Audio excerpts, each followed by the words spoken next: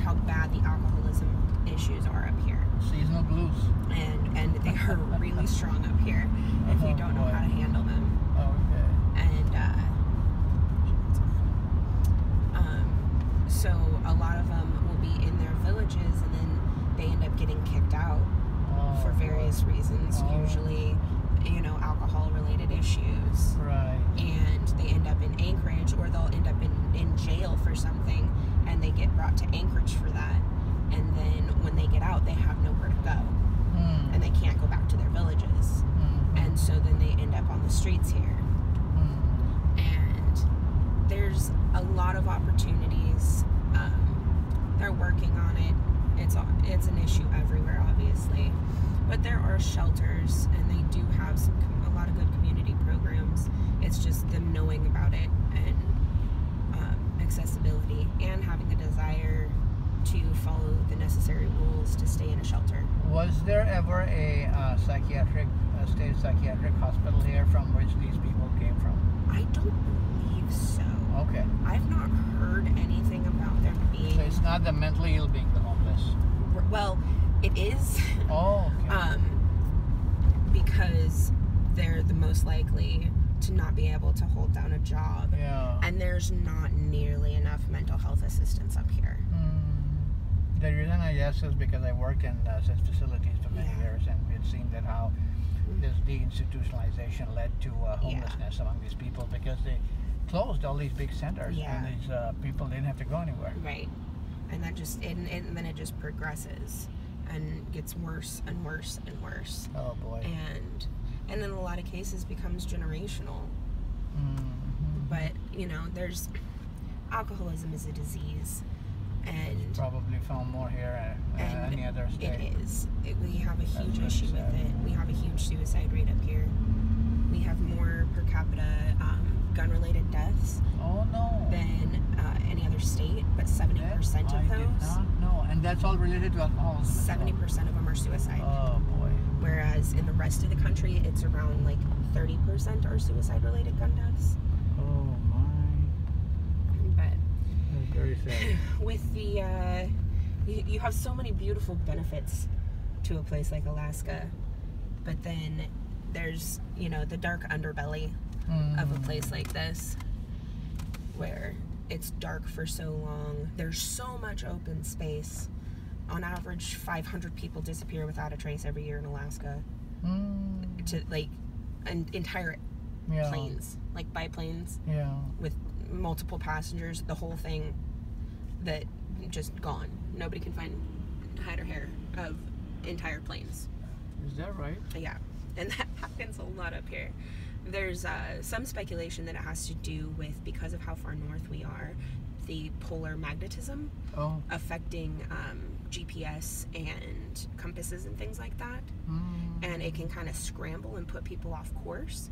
And so, Right. if a plane goes off course, they don't even know You're where lost. to look for them. Yeah, that's right. Especially when you have 700,000 square miles of space up here. Unbelievable. It's Alaska is enormous. I see a lot of small planes there. So Yeah. is it? It is. Some of them are those. Uh, what do what do you call them?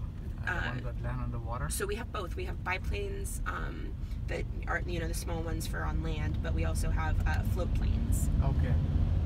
and they're um, we actually Lake Hood is the largest float plane airport I believe in the world, Mm. and we have more pilots per capita. It's something like one in fifty-three Alaskans has their pilot's Pilot. license. Oh, okay. Hmm. We're the flyingest state,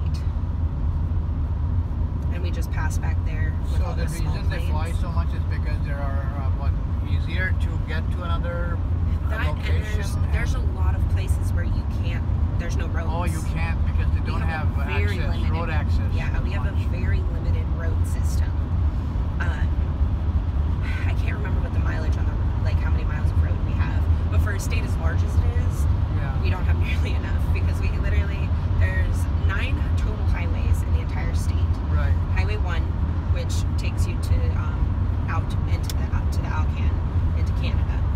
Um, and when you go south, you have highway. It splits to highway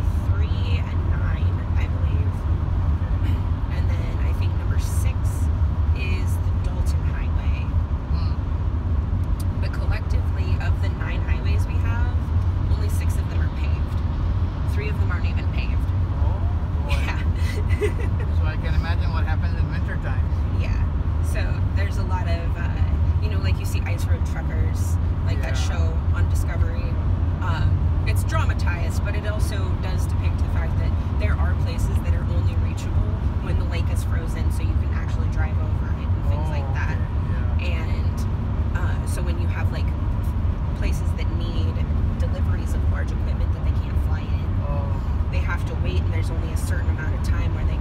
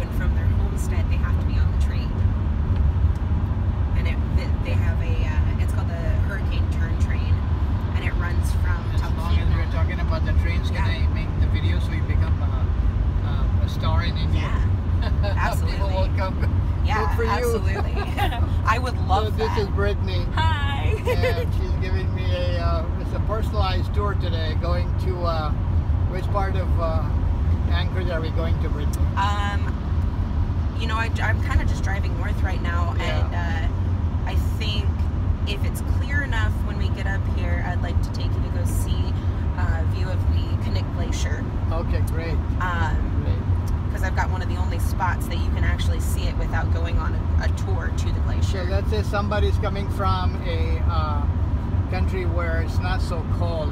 Yeah. And they come here during the winter time. What would what lots, would you tell them? Lots and lots and lots of layers. lots, lots of, layers. waterproof layers. you're, you're, telling me about the glaciers. Even in summertime, when you go there, it might get very cold, like yeah. a difference of about 20 degrees from what you have in Anchorage. Yeah. And so wear are lots of uh, layers as well as. Um, uh, it might get very what wet. Yes. Yeah, so we always, anytime you come to Alaska, any time of year, always bring waterproof, a waterproof layer, and always bring several extra layers just in case because you might not think you need it, but the weather changes so quickly here that it, you might need it. Sometimes in the morning you kind of want your heavy coat because up here, you know, we get it's so 60 degrees in the summertime is not abnormal. Do you, do you like uh, living in Alaska because it gets so cold and sometimes so you're talking about all these seasonal blues and alcoholism and whatnot. It was very surprising to hear that they have so many, uh, uh, you know, gun-related deaths there, unfortunately. Yeah. I, uh, you know, th this place is very special oh. and it's not a place that everyone is prepared to live and oh, okay. thrive not everyone thrives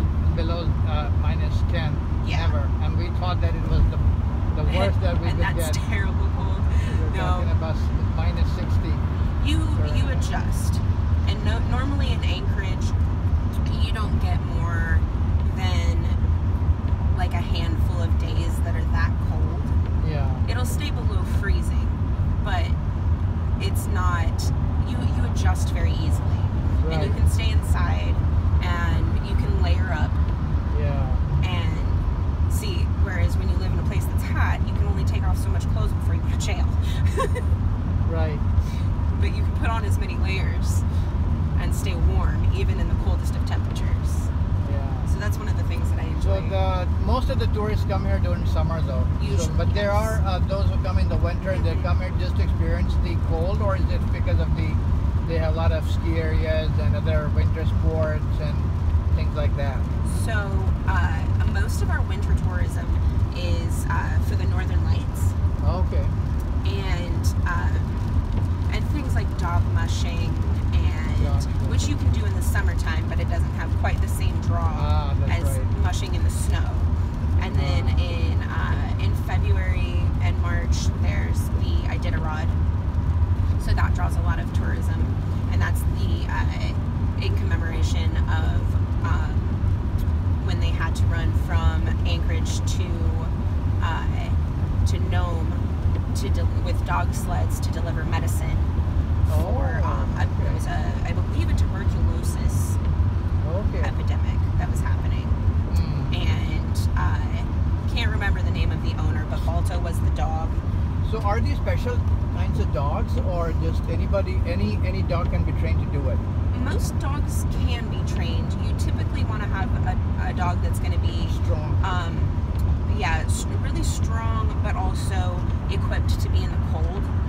why they use things like huskies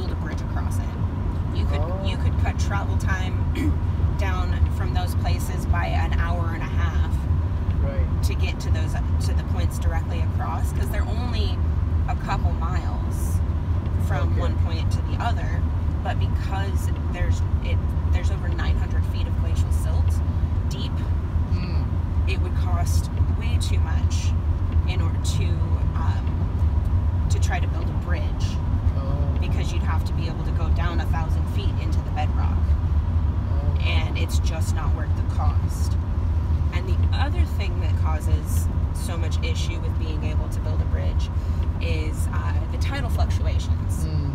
so the Turnagain Arm specifically because the Knik Arm uh, spreads out a little bit differently but Yeah. the Turnagain Arm has the second high, highest tidal fluctuations in north america Oh. uh, you get up to 39 feet in tidal fluctuations Mm. from low tide to high tide, and that's not every day. But um, because of the way it uh, narrows in in the arm, you we get what's called the bore tide, Mm. and it instead of it coming in like the like waves like you see in Hawaii that are these big beautiful surfable waves, Right. you get a wall of water that can be up to 10 I feet saw high that. Yeah, on video. It was so Yeah. pretty. and it, it can move up to about 15 miles an hour. Oh. And people will go out and surf that, Yeah. but you're not having to catch a wave. Yeah. You can get uh, get in at the right time, and you can just ride that wave. I've heard people of people riding that wave up to seven miles Oh. into the into the arm because it's it, it just goes and it's so quick. Just like boats, I see the planes parked here outside of There's people's several um, there's several communities Yeah. that the um, one of the requirements for Right. living in that community is that you own a plane Oh, is that because right? they have runways Oh. in behind you know behind they'll have a line of houses and everyone's cars or planes will be parked next to the runway Right. Unbelievable. it's uh Never heard about this it's a different place Yeah. so, uh, do people, when they come here, they go see the uh, glaciers, I'm sure. glaciers are a huge draw um, you, there, and there's so many so the Chugach Mountains that are sitting to the, are right here Yeah. uh, they are one of the snowiest places in the entire world. Gets up to, on average, they get about 600 inches a year of snow. This is the one she's talking about. And um, last year, we have one ski resort down in Girdwood. Um, south, you'll pass that area on your way to Whittier tomorrow. Um, but they reported about 700 inches of snow last year, and their ski season ended up uh, getting pushed into almost the end of May. So, Birdwood is famous for the glaciers. So Girdwood is most famous for the ski resort. Oh, the ski resort. That's one of the big draws for Girdwood. Yeah. Um, and then Whittier and Portage area is really is well known for their glaciers. They call it Glacier okay. Valley Oh, okay. Um, That's the one. because as you drive in there, it's just glacier, glacier, glacier. And when you go across into Whittier, like right as you're, you're you'll go through the Anton Anderson Memorial Tunnel. Yeah. It's like a two and a half mile tunnel that goes right through the mountain. Okay. And um, right before you go in there, if it's not too cloudy, Mm. the mountains are just covered. There's just glaciers everywhere. Oh. And then you come out on the other side, and there's just waterfalls down the mountains all over the place. It's absolutely. I have to take, make a movie of that as well. Yeah, you're gonna love that. Yeah. It's so. So, is the rail? Uh, you were talking about rail earlier, yeah. and you started working with the rail system. So, uh, is it popular here in Alaska, or people try to take their own car because this road is pretty good? They're not So- uh, a very uh, comprehensive road infrastructure in Alaska, as far as I know. Yeah. So, uh, and the rail system also you were just talking about is like basically north-south, and there's only one Mhm. one rail that goes uh, up and down. Yeah. So, if people they come here, they take the rails, or they prefer taking the cars. You get both. Um, Okay. And it kind of depends. Um, you know, Holland America, they get uh, it's a lot of their cruise passengers Yeah. that will take the train. Um, but one of the benefits to the train is you're going slightly. You'll, most of the way it runs pretty close to the road, Right. but you're a little further away from the road, and the train is actually surprisingly much quieter than you would think. okay. And so you have really good opportunities for wildlife viewing. Um, it's it's just a slightly more scenic route. It goes a little slower. There's more time for pictures. Um, Holland America still has uh, decks that you can go outside Right. while you're on the train, and that's a huge draw. And it just kind of depends on what you're looking for. Are you just trying to get from destination to destination quickly? Are you trying to stop at all of the locations along the way? Yeah, all Or the- are you trying to have like one good, comprehensive, you know, slow roll to see things, Yeah. but you might not be able to stop as often as you'd like? So there is a provision you could stop at different stations and maybe take it, stay there overnight and then take a Yeah. train the next day or something. But Yeah. what do you see when you take a train? Let's say you're going from, from here to Seward, and then um, if you don't want to anywhere, do you basically see uh, basically let, let's say the, the, the waters as well as the waterfalls, the mountains? Do you see any wildlife, Maybe. Bear? Okay, yeah. that's only when you get lucky. Yeah, it depends on how the wildlife's feeling. Is it do you see more bear here or moose? Um, I would say I see moose more often. Oh, okay. Um, and it, it does depend on where you are. Yeah. Uh, like on the way down to Homer, coming back from Homer last week, and I saw a dozen moose Oh. in the matter of 20 miles. Oh, okay. And but I didn't see a single bear that trip. So I hear that they're more of a loner. They don't like travel in like groups. No, they really. It's very rare that you'll see more than. Uh, you'll you might see them like a couple scattered in a field Oh, okay. occasionally, but for the most part, if you ever see moose together, it's probably a mother and baby, Oh, okay, okay, yeah. That's amazing. and they usually never have more than two babies at a, at a time, Oh. and they, they usually stay with their young for I think it's two years. And so it's before they- mostly, but they don't hibernate like bears do. No, no. So how do they survive the cold? um, well, their their fur is very thick. Oh, they're okay. they're very physically prepared. oh, and okay. they have they, their legs are very very long Mm. and so you know they have the clearance to be able to walk in three feet of snow without it touching Oh their bellies Oh and they're huge the back of a moose could be six feet high Wow. they're enormous animals Mm. and So is it legal to uh, to kill them here? only during hunting season Oh, hunting season. yeah um, moose season is usually i believe it's around september october Okay. um, before gets too So sparse. I imagine that you would not have deers here. Or you, No, we don't have deer. we don't have deer up here. Um, Reindeer maybe? we do have caribou, reindeer. Oh, okay. Same thing. Yeah. Um, though they reindeer are actually not indigenous to Alaska. oh, okay. They were brought over um, a couple different years ago. I can't remember exactly when, but uh, they were looking for a sustainable food source Right. for all of the miners um, you know just all of the people that were moving up here for the natural resources Yeah. there there was just no sustainable food source that was cold hardy and so they started they got someone from um, somewhere in the Scandinavian countries That's to- right. That's what I was gonna say. yeah, to come over. They brought Yeah. the reindeer over Yeah. and had somebody come up and teach them about farming them and uh, how to you know grow a herd, and then it got it's gotten to the point where they were so successful that now they are part of the the natural habitat. You mostly see them further north. You won't ever see them oh, in the oh, wild okay. down in Anchorage oh, in this okay. area because they really do thrive in colder temperatures. Oh, um, okay. Um, so um, the only places that you'll see them down here are yeah. the Wildlife Rescue uh, Conservation Center.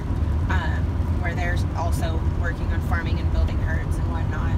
And then uh, our our famous reindeer, Star the reindeer, and uh, she lives downtown.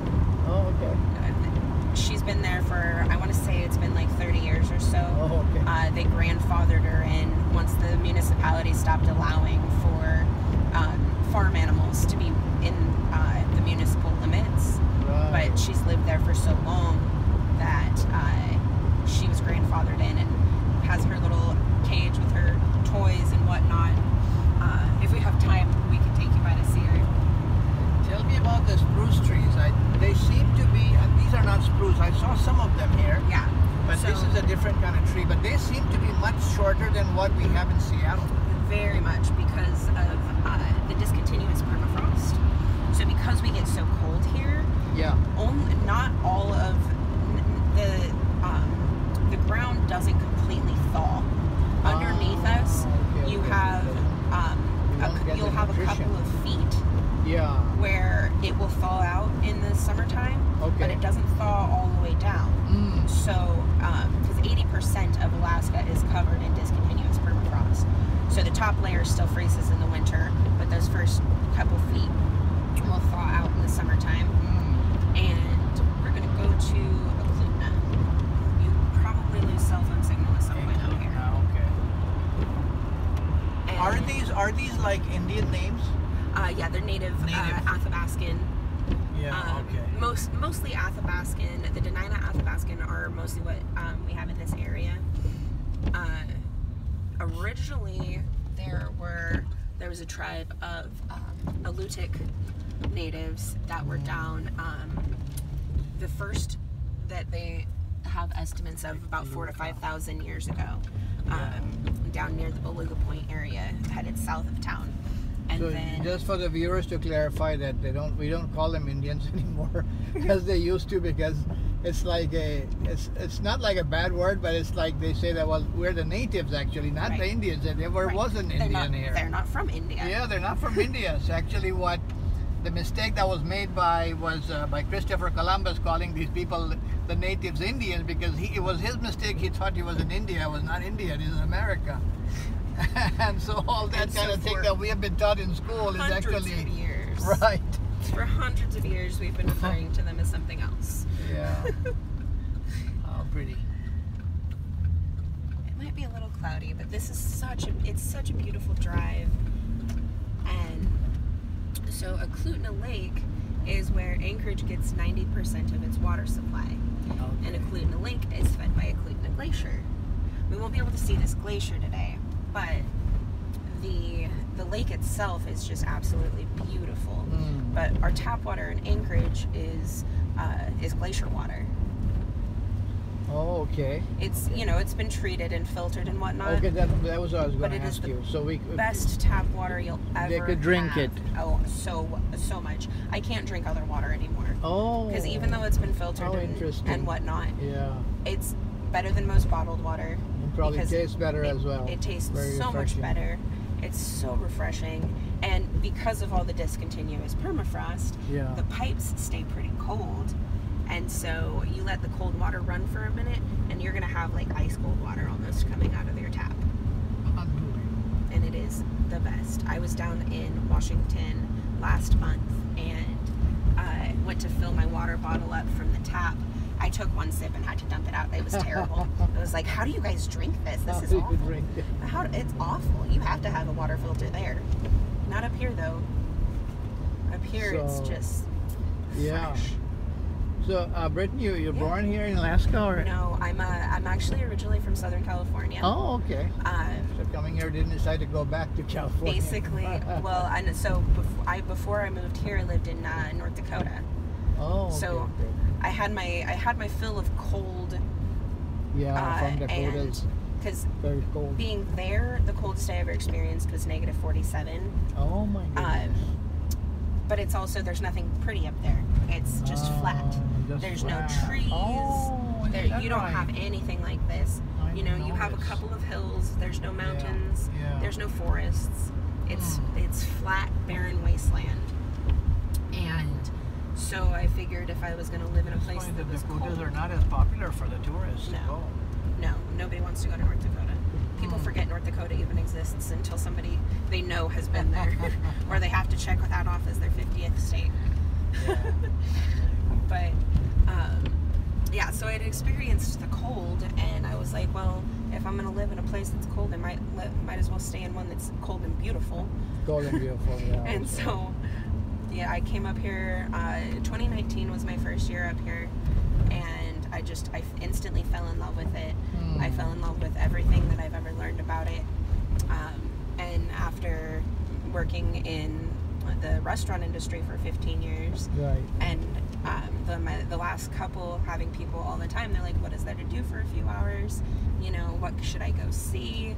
I don't have a rental car. My my plane leaves this evening, and I'm just trying to fill some time." Yeah, so you custom made. And I was like, "Well, why don't I solve Yeah. that problem?" Yeah, that's excellent. and and I absolutely love it. Having the opportunity to showing people Alaska is my favorite thing to do, Yeah. and building a business out of that is is the, the best thing that I have ever I saw done. the reviews are pretty good for Yeah. you, so I said, well, I've got Don't have a lot of them yet, but I have really good ones. so you got a good one from me. Excellent. I I've you know this is my first summer. I just started at the end of April, beginning of May. yeah. and it's been a slow start, but it's been a it's been a wonderful start. And I've met some beautiful people, and I just, you know, I'm, I'm growing a base of people who, the next time they're in Alaska, I I've given people reason they didn't think they wanted to come back to Alaska, and I've given people reasons to want to Ah. come back.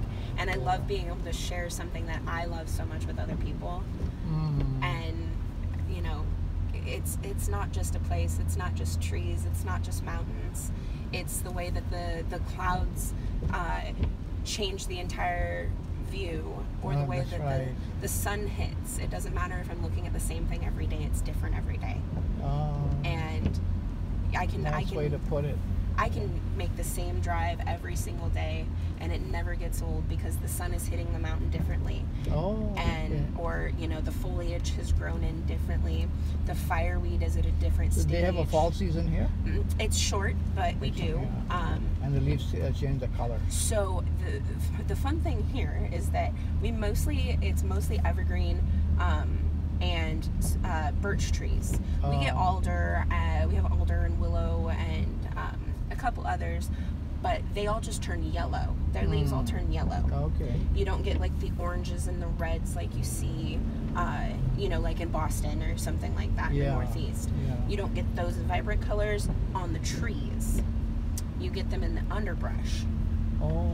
so the fireweed these pink flowers that you see through here Yeah. in the fall there so the fireweed is our summer calendar Okay. in early june it'll start to bloom at the base of the of the stalk and then it'll work its way as the season goes blooming up towards the top Mm. and once it gets to the top, usually about September, it seeds and lets off um, this this puff of cotton, and so we it, we jokingly call it like the summer snow because it just Oh. covers everything.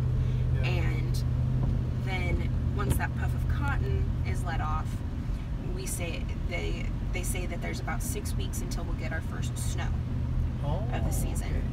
okay. And then right after then in that time frame, all of the leaves turn these Yeah. beautiful red and orange.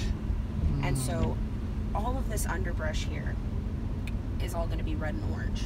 red and, And so you have your red and orange on the bottom, you have your yellow and green through the trees between the Right. birch and the evergreens, and then bright blue skies. And it Oh, it's nice. short, but it is such a beautiful time of year.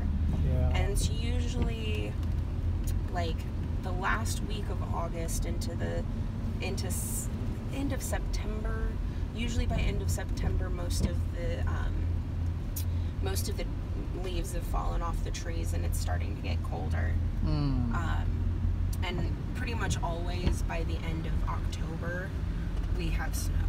So except for the evergreen, most of the leaves are gone basically. Mm-hmm. But then it provides an entirely different level of beauty Oh, definitely. because Oh, in the winter you can see eagles' nests because there's not Oh. foliage to hide them. Interesting. And uh, we have in the winter, uh, it's called the hoarfrost that will come Yeah. through, and it's this thick ice fog, and you can watch it roll in from Ice the water, fog. Oh. and comes through, and it will be so thick you can't see 50 feet in front of you Oh boy. and it deposits this thick layer of frost over everything Oh. where you can't see through a chain link fence. Yeah. There will be so much frost built up in between those little squares Mm. that you can't see through a fence. It just makes everything look magical. I just wonder then how such little birds like you know or even eagles survive such kind of cold. so the eagles eagles can survive up here. They don't leave in the winter. Okay. Um, pretty much all most of the other birds The do mi- migrate. Okay. Uh, we have about 10 million birds that migrate to Alaska every year. mm. there's and variety one- of species. Mhm, Huge variety of species. Oh, okay. Um, the Arctic tern is uh, the one people come up here to try to see this bird. Bird watchers Arctic are are obsessed with trying to see this bird. Oh. It has the longest migration pattern of any bird. Oh, it does okay. 11,000 miles. It goes from Alaska to the southern tip of South America every year. Oh my god. And so basically, you know, it'll be up here for a couple months, but then it has to turn right around and, go and they back. don't stop in the middle somewhere? Um, they probably, I mean, They sure probably they, do, they yeah. pause, but Yeah. um, their destination for 11,000 migration miles. is 11,000 miles. Hmm. Yeah. Good grief. I couldn't imagine. Granted, at three years old, I discovered I couldn't fly, and I've been disappointed ever since. Jumped off a roof, Amazing. flapping my arms, trying to fly, and Yeah. you know, didn't work out well Goodness for me. gracious. Yeah. We'll stop here this video and see whatever comes next. Yeah. Then we'll take it from there. I'm sure the lakes are pretty gorgeous, It is. like anything else here in Alaska.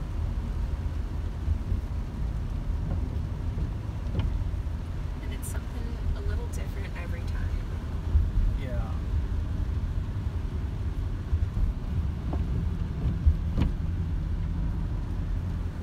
If I How is the how is the job situation for people? Uh, probably pretty pretty low because uh, There's- economy as well as we don't have job creation. There's plenty of jobs to be had. Oh, We have the only reason people are unemployed is because they want to be oh, at, up okay. here. We have jobs, and most of them pay pretty decently because the entire cost of living up here is is higher. right. Um, So, but the minimum wage is still the same as you have in the other states. uh, minimum wage up here is 10.34 an hour. okay. Okay. So it's a little higher than the federal 725, which is weirdly still not changed in Yeah. 15 years. Yeah. Um, but uh, most, it's not, not a lot of places are only going to pay you minimum wage Yeah. yeah. because it's, we have, we have such a lack of resources and that includes human resources. Yeah. That's very true. So we can't, you know, when you're in Washington, you know, if you're in Seattle, you can, you can probably talk somebody to move from Spokane or from Portland because you need. Here, we don't have anything don't to have. draw from. That's right. Forty percent of the population is already in Anchorage, Right. and you know the next the next closest thing is is Washington. My, my partner is up here Oh. because they needed uh, they needed summer help, and so they had her come up from a sister company in Washington to work for the summer, and then she loved it and stayed. But we we don't have that those resources, so we have we Mm. do a lot of um, like the foreign exchange programs to get uh, workers up here in the summertime during tourist season. So Uh, what about like getting people from Vancouver and all that? Because that's a different country. It doesn't work that way. Well, we Canada? you, you can, but That they have to have apply for work visas, and it's it's a different ball game. Um, like you have uh, J one visas where they come up. Um, we get a lot of those from uh, from like Thailand and Jamaica, Oh, okay. and um, Jamaica's a little easier because it's a protectorate of the U.S. So it's a, a lot easier for people to come up here and work.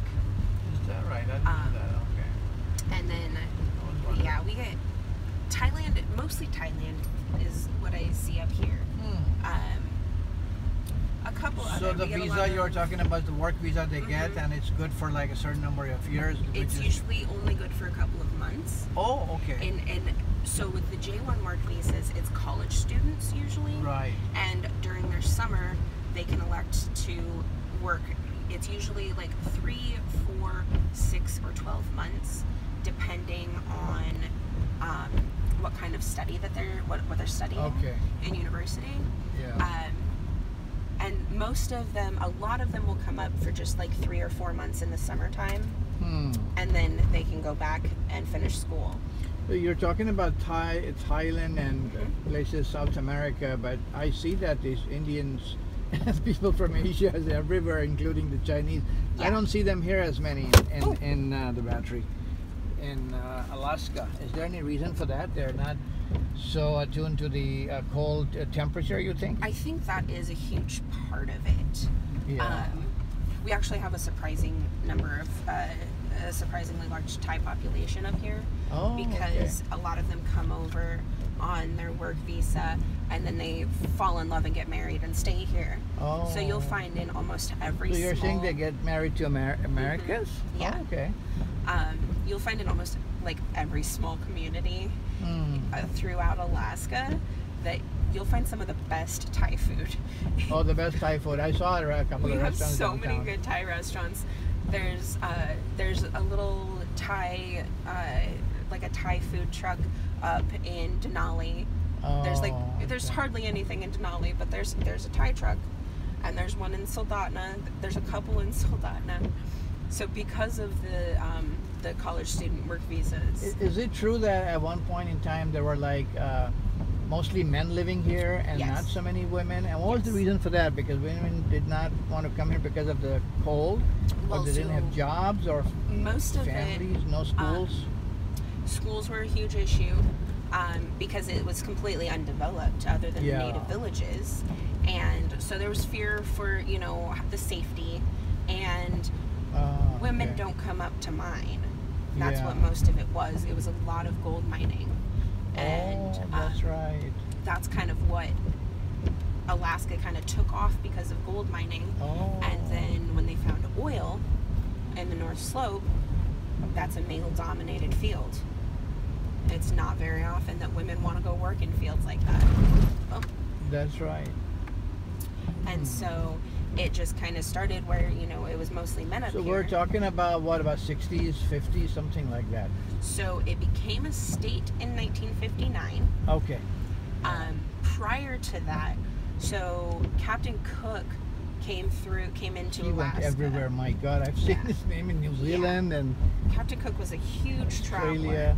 Yeah. um, which is why we have the Cook Inlet is named for Cook for James Cook. Oh, okay. There's a lake Um, by that by his name. Yep, uh, the Captain Cook Hotel. Okay. There's a lot that's named for him, even though he actually didn't spend a lot of time in Alaska. Yeah. He stopped at a lot of places, but he didn't spend a lot of time. Ooh, that's interesting. I didn't know that any of these big guys came out here. Hmm.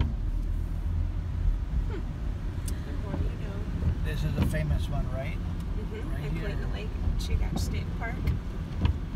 Coming into. This is a pretty long video, folks. Brittany talking to me. This will go in many places, and all my friends and family and relatives will see it, and I highly recommend that you come to Alaska, and uh, uh, Brittany will be your personal guide and tour guide, to take you places here, and even outside of factories, I believe. Yes. So, over for now. We'll make another video shortly. Bye bye.